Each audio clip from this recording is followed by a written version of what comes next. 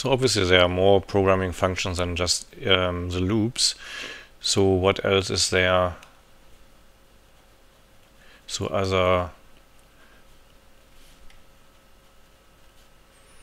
programming functions.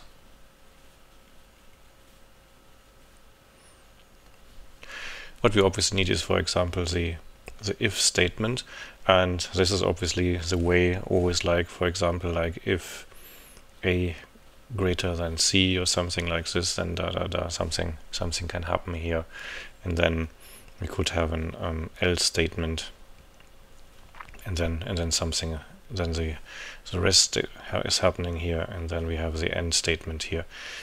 So that's basically again the same idea as in any other programming language.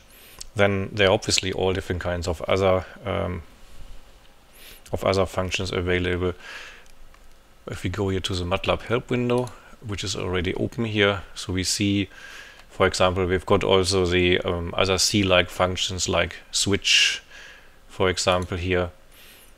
If we if we have um, for example here a text variable and uh, and we want to decide what somebody has put in it here. We've got also the why the um, sorry the while construction here. So that we have a while loop again while expression statements and it's the same idea um, and so we've got all all these different structures you would also find in any other programming language. And so therefore, therefore in MATLAB you can also write programs quite C-like if, if you want to. And um, especially in the assignments you're going to do in this DSP class, these will be very often quite C-like.